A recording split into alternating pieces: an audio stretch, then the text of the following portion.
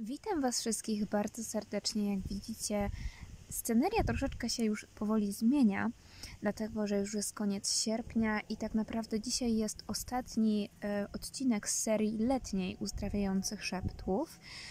Jeżeli jesteście tutaj nowi, Uzdrawiające Szepty jest to seria, w której pracujemy z kartami e, wewnętrznego rozpoznania. Nie mam Wam tutaj jak pokazać tego ładniej.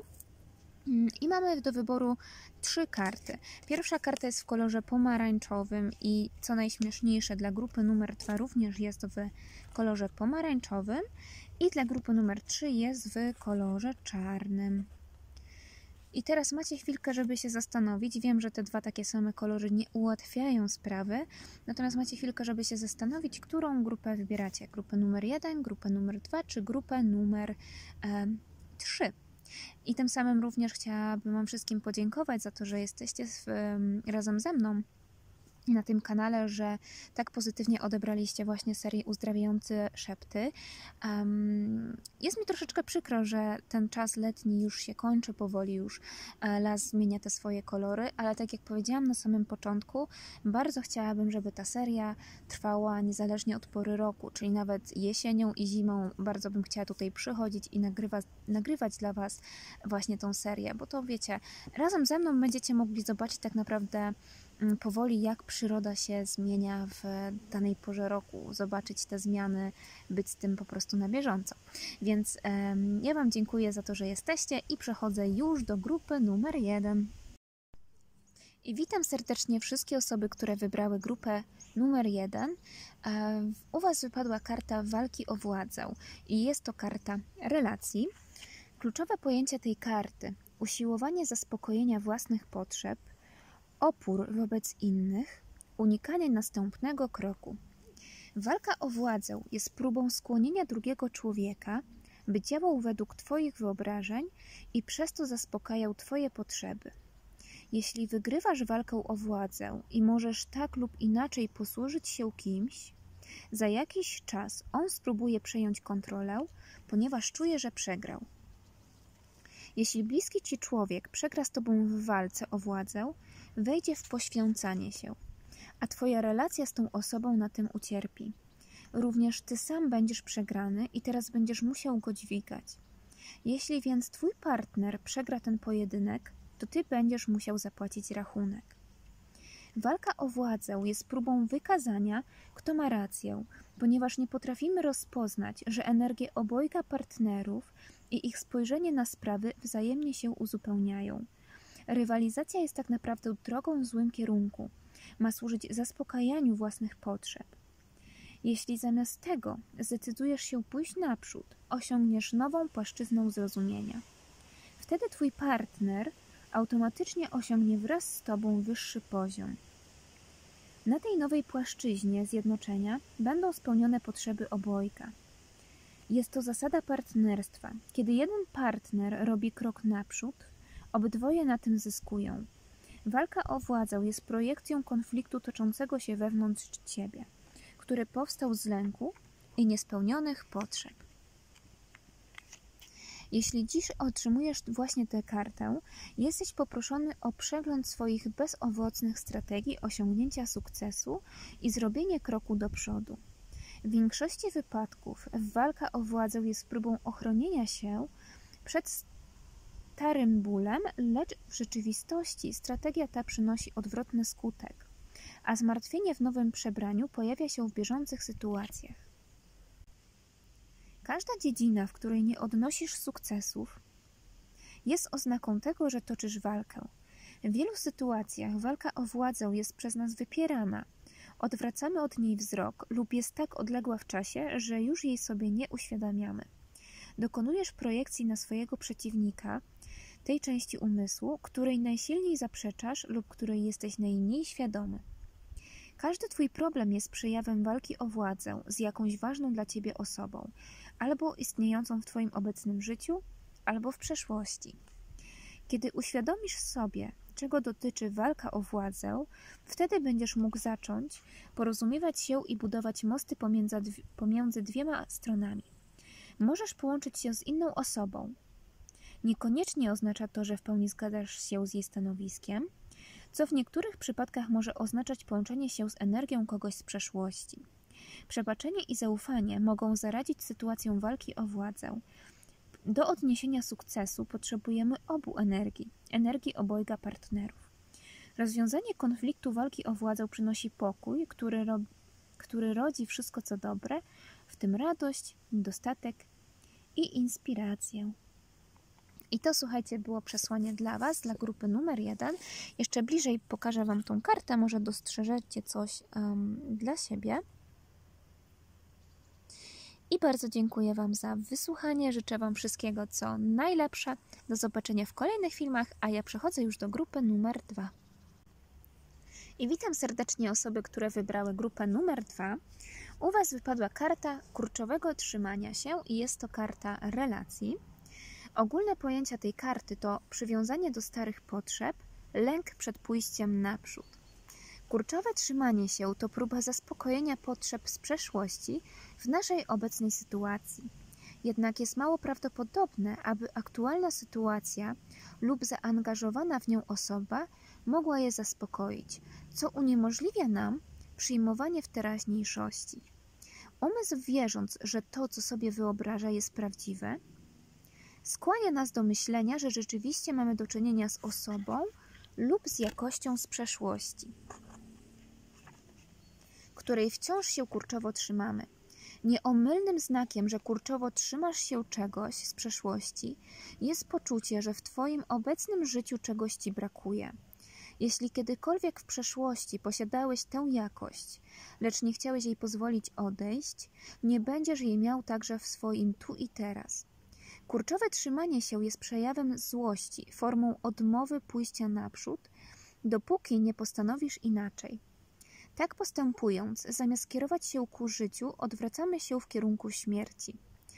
Większość ludzi mylnie utożsamia kurczowe trzymanie się z miłością, ale także e, zwłaszczanie kogoś ma więcej wspólnego z zaspokajaniem własnych potrzeb.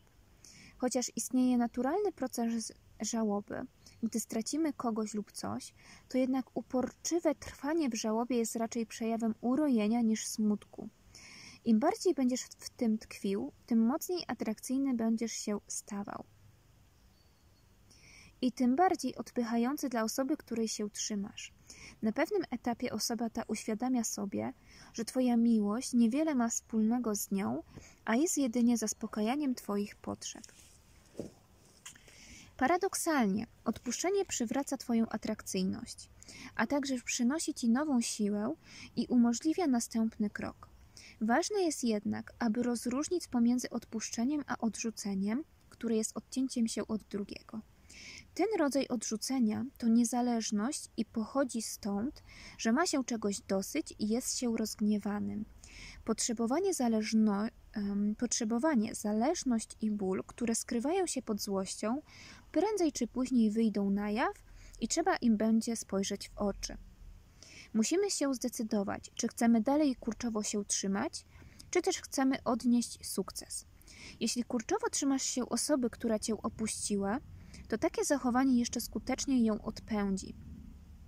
Lecz jeśli ją sobie odpuścisz, warstwa po warstwie, lub od razu, jeśli jesteś odważny, ona ponownie nawiąże z tobą kontakt. Jeśli pozostaniesz w kontakcie, ale bez zwłaszczania, z pewnością odniesiesz sukces, podczas gdy kurczowe trzymanie się zawsze przynosi odwrotny skutek. Teraz jest czas, aby dokonać wyboru. Czy chcesz odnieść sukces, czy też nadal chcesz trzymać się kogoś kurczowo i manipulować nim, aby zaspokajać swoje własne potrzeby. Jeśli dzisiaj otrzymujesz tę kartę, zostajesz poproszony, aby przyjrzeć się temu, czego się kurczowo trzymasz. Otrzymanie jej oznacza, że powinieneś pozwolić rzeczom odchodzić i ufać samemu sobie. Jeśli to zrobisz, otwierając zaciśnięte dłonie, będziesz mógł znowu przyjmować. Wprawdzie uwolnienie może być szczególnie trudną lekcją do odrobienia, ale można to uczynić lekko i z wdziękiem. Istnieją różne formy uwalniania, po prostu odczuwaj to tak długo, aż wszystkie negatywne, martwe uczucia i emocje znikną, a ich miejsce zajmą uczucia pozytywne. Negatywne emocje mogą być nawet przez Ciebie wzmacniane, aby przyspieszyć ten proces. Innym sposobem jest skorzystanie z uzdrawiającej zasady przewodniej. Jeśli ja cierpię, to jest jeszcze ktoś, kto pilniej potrzebuje pomocy. Kto to może być? Kiedy nadejdzie odpowiedź, wznieś się ponad swój ból i zwróć się do tej osoby, aby udzielić jej wsparcia. Twój ból i jej, a przynajmniej jakaś jego warstwa, ustąpi i znów będziesz płynąć z życiem. Jeśli istnieje wiele warstw bólu, możesz to kontynuować, zwracając się do kolejnych osób. Za każdym razem, gdy przechodzisz przez swoje cierpienie, aby wspierać kogoś innego, aby uczynić go ważniejszym od własnego cierpienia, kolejne warstwy Twojego bólu ustępują. To działa znacznie lepiej niż unikanie bólu, zaprzeczanie mu lub ignorowaniu jego istnienia. Porzucenie jest podjęciem kolejnego kroku naprzód. Jesteś otwarty na to, aby kolejny krok został przez Ciebie powzięty. Jest to wyzbycie się tego, czego się kurczowo trzymasz. Jest to podjęcie decyzji. Nie będę tego więcej używał jako wymówki. Oznacza to wybaczenie. Jeśli to przekazanie pełnomocnictwa Twojej wyższej jaźni, aby zakończyć cierpienie i móc odnosić sukces. Czyli dla Waszej grupy macie tutaj właśnie przepiękny przekaz dla swojej właśnie wyższej jaźni. I jeszcze raz powiem, jak on brzmi. Nie będę tego więcej używał jako wymówki. I dziękuję Wam bardzo e, za wysłuchanie. Jeszcze z bliska pokażę Wam tą kartę. Może dostrzeżecie jakiś tutaj znak dla siebie. Proszę bardzo. Dziękuję Wam za wysłuchanie. Do zobaczenia w kolejnych filmach, a ja przechodzę już do grupy numer 3. I witam bardzo serdecznie wszystkie osoby, które wybrały grupę numer 3. Wy macie kartę lęku, czyli kartę ofiar. Kluczowe pojęcia tej karty to rozstanie, konflikt, myśli o utracie lub ataku, planowanie lub próba organizowania przyszłości, mechanizmy obronne. Większość ludzi myśli o lęku jako o czymś, co pochodzi z zewnątrz, aby nam zagrażać. Jednak w rzeczywistości strach pochodzi z umysłu. Reprezentuje on wewnętrzny konflikt, w którym pragnie się jednocześnie dwóch różnych rzeczy. Myśl o tym, że, do jednej, że dążąc do jednej z nich, tym samym nieuchronnie tracimy tę drugą, powoduje lęk. Czyli w skrócie mówiąc, dążymy do czegoś jednego, a zaraz um, pojawia się w nas lęk, że stracimy to drugie. Lęk powstaje w wyniku życia w przeszłości. Planując lub broniąc się, próbujemy poradzić sobie z przyszłością, która jeszcze nie nadeszła. Negatywne emocje, wciąż obecne w odniesieniu do przeszłości, powodują, że właśnie z tego lęku projektujemy przeszłość na przyszłość. Mamy przeczucie, że znów przytrafi nam się coś podobnego. Można powiedzieć, że wszystkie problemy, wszelkie negatywne emocje wywodzą się z lęku. Strach jest obecny przy narodzinach każdego problemu. Powstaje poprzez nasze osądy, żale i myśli o byciu atakowanymi, które powodują, że uważamy świat za niebezpieczny i odrażający. Czujemy się przerażeni, nie zdając sobie sprawy z tego, że strach rodzi się w naszym umyśle jako rezultat oddzielenia, czyli tego, że bronimy się przed ludźmi, sytuacjami czy sprawami. W rzeczywistości każde rozdzielenie, które tkwi wewnątrz nas, powoduje sytuacje lękowe. Zauważmy, że za każdym razem, gdy łączymy się z jakąś sytuacją, integrujemy ją lub wypełniamy miłością, lęk znika. Gdy idziemy z ufnością naprzód, uwalniają się nierozwiązane wydarzenia z przeszłości, a gdy przeszłość zostaje oczyszczona, to samo dzieje się z przyszłością.